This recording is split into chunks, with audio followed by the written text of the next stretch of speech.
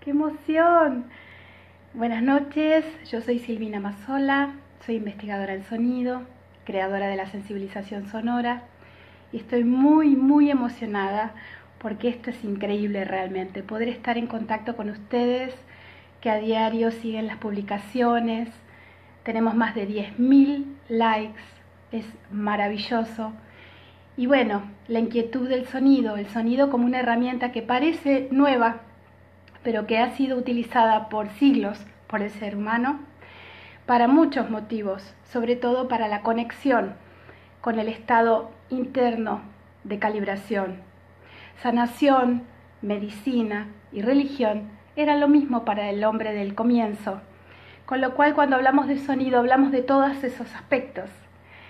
Y bueno, yo que hace tantos años que ando en esto, que investigo, que soy muy curiosa del sonido. Inicialmente yo soy música, pero el impacto que el sonido siempre hizo en mí también eh, me generó esa inquietud. ¿Qué pasa con el sonido y nuestros estados internos, nuestra emoción, nuestros pensamientos?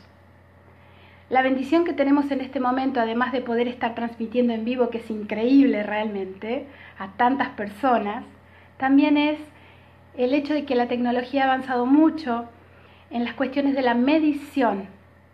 Muchas cuestiones del sonido que antes se hacían de modo prácticamente intuitivo y se pueden ver, se pueden medir. Los cambios cerebrales, los cambios en el campo electromagnético, los diferentes impactos que tiene el sonido en nuestro sistema. Con lo cual vivimos una época en muchos aspectos maravillosa. Y la herramienta del sonido como una herramienta increíble, increíble para calibrar.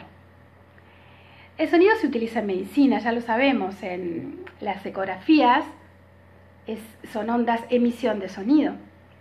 Yo soy profesora de acústica y la acústica eh, muestra muchas aplicaciones del sonido. En este momento el sonido se ha puesto un poquito de moda. Yo hace más de 20 años que, ando eh, ahí este, investigando y, aprendiendo mucho, pero realmente el sonido ahora está en un boom. Y bueno, eh, me da una, una, enorme alegría por el hecho de pensar que, bueno, estuve mucho tiempo sola y ahora no lo estoy. Sé que por ahí hay muchas personas eh, que se emocionan con el sonido, que sienten conexión con el sonido, que sienten cambios profundos al escuchar un sonido, ¿verdad? Eh, me, me mandan mensajes y me cuentan las experiencias. Así que ha llegado el momento en que pueda empezar a hablar de lo que humildemente aprendí no solo desde el punto de vista teórico, sino por el campo, por el estudio de campo, porque he trabajado mucho, mucho, mucho y atendí a muchas personas. Eh, hace varios años, pero el año pasado fue increíble. He llegado a estar muchas, muchas horas atendiendo con asombrosos cambios en las personas que recibían sonido.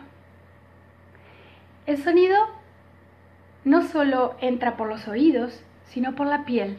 Hay muchos estudios que sustentan el conocimiento, más que una teoría, que